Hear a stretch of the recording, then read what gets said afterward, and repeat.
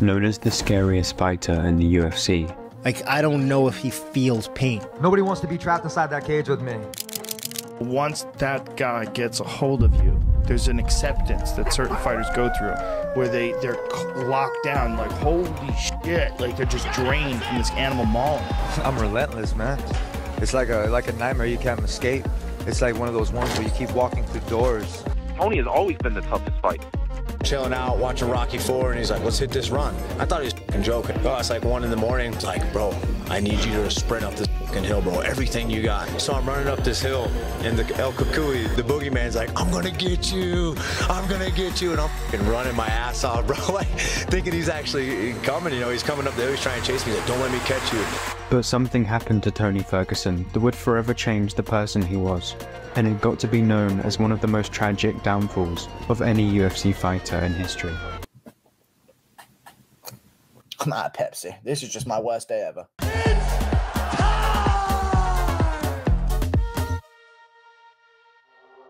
How did I get into the fighting? So I was in Michigan. I was looking for something different. I was bartending at the time. I go to California in Ventura County, and I go into this bar with my cousin. I was looking for a bartending job. I go in there and he's like, no, we don't have any bartending spots open. He's like, you want to be a security guard? You look like, you know, you can handle your business with your ears. I said, nah, I'm not interested. He, he hands me a West Coast Jiu-Jitsu card. I walked right in. Right, I was like, hey, uh, do you have any equipment? And he's like, yeah, you can use these hand wraps. Sweaty as shit. I was like, these were like the lost and found kind of stuff. And he's like, Here, there's a bin right there. There's a blue bin. You can go get some gloves too. I go over towards the blue bin and I'm looking for the boxing gloves. One was red and blue, so it's like all weird and stuff. And this guy comes over, his name is Rafuyo. And he's like, hey kid, is that you hitting the speed bag? And he comes up and he's like, where's your gloves, kid? I, like, I don't have any. I was using the ones in the lost and found. He goes, turns around, and comes back, and he had a brand new two, uh, pair of ringside boxing gloves. And mind you, I had like maybe five bucks to my name. He's my grandma's car, and he gives me these gloves. And it was the coolest thing that anybody could have ever did to give me the tools that I needed to get into fighting. And from that moment on, it was just music to my ears.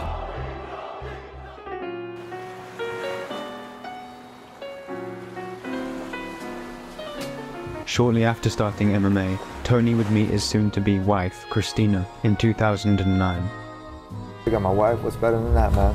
That's where the Tony Person XT comes in. That's Christina and Tony. She's always been that sponsor for me, like not through money, but always been that mental sponsor.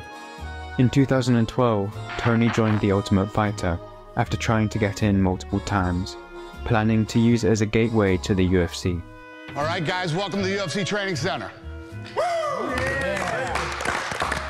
My nose is always in the gym, and this is my passion. This is very important. You know, I'm all about 150%. You know, there's no holding back.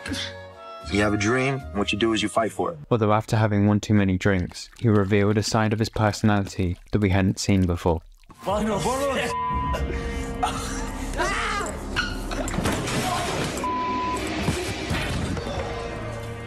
Where's your kid at? Where's your kid at? Tony, you know, bringing up my son was uh, was definitely below the belt. Where's your kid at? Don't say it. Hey, where's your kid at? Don't say it. It's a situation back home that you know I've been fighting for over a year now to, to be in his life. Hit me and say your kid. Thank you. Hit me and say your kid. He switched like that, so it's completely another person. Tony won the Ultimate Fighter, and it was no surprise why. He had a ruthless work ethic that none of the other contenders could compete with. He's just got that mindset, man. You can't teach that mindset. Like, he's coming out to hurt you in any position possible. I know Tony firsthand. We were teammates, but I watched him every day, and I do the whole workout. And then I was done. Practice was over, like everybody. Well, except one guy. That's Tony. I'm not doing hill sprints. I'm doing mountain sprints. When everybody else is sleeping, I'm still working.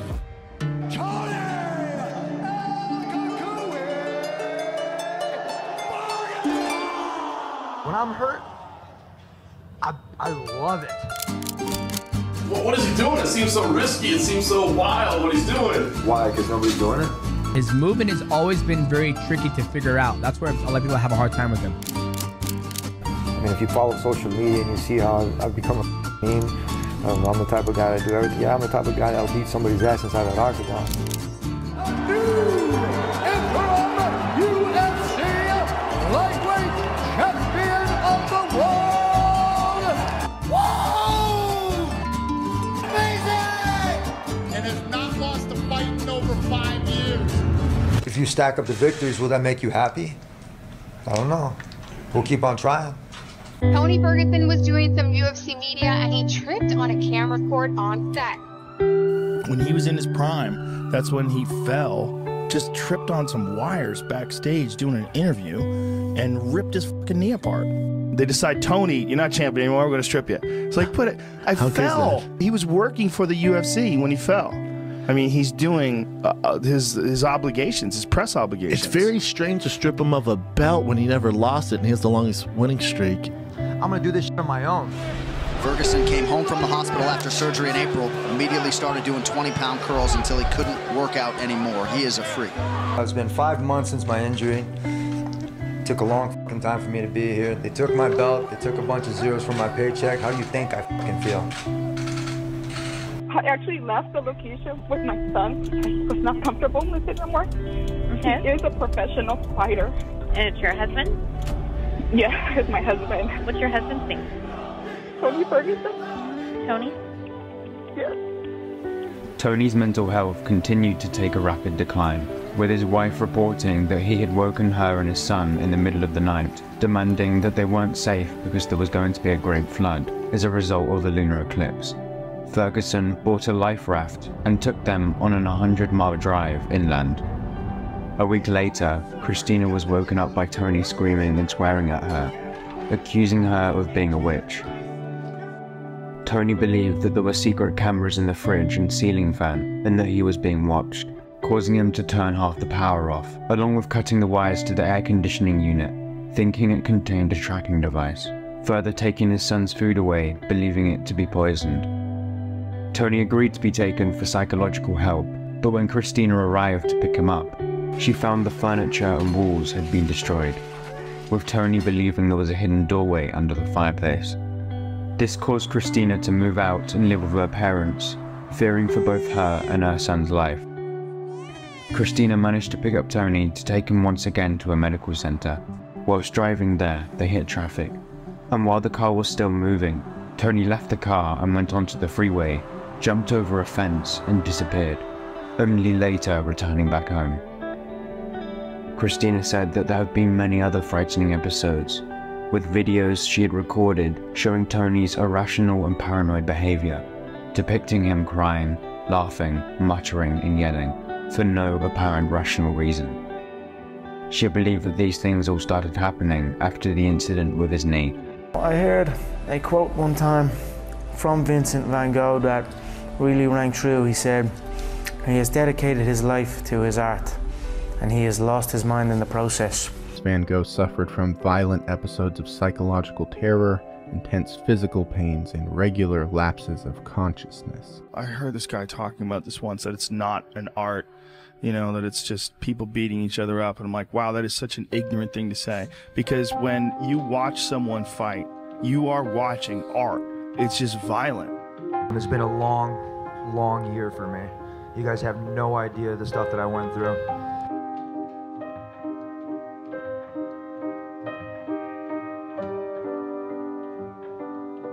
Is absolutely the most punishment we've ever seen Ferguson take.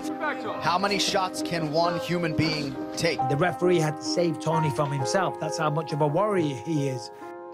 When you when you take damage like this, you're never gonna be same. Never ever. Even if you're Tony Ferguson. What we're seeing here is the rapid decline of Tony Ferguson because the human body, right, can only take so much.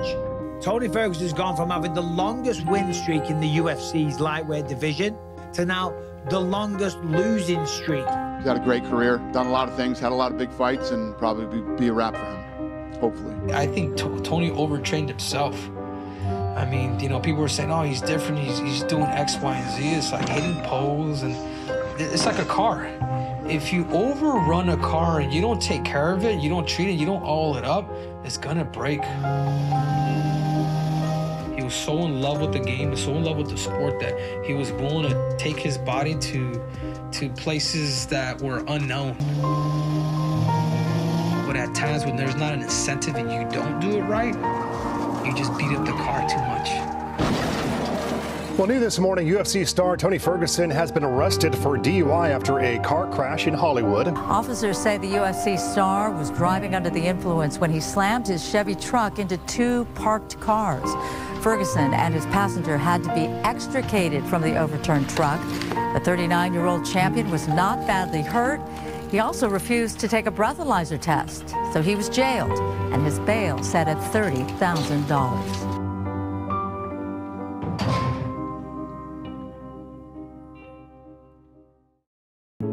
What's up, boys?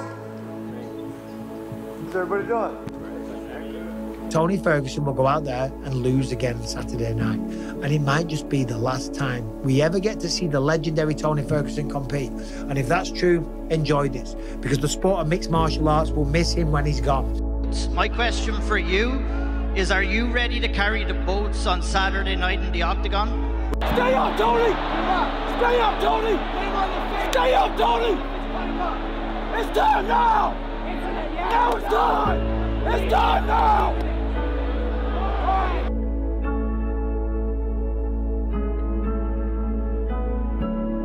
What are you talking about? I am the boat. That's the best of all time, motherfucker.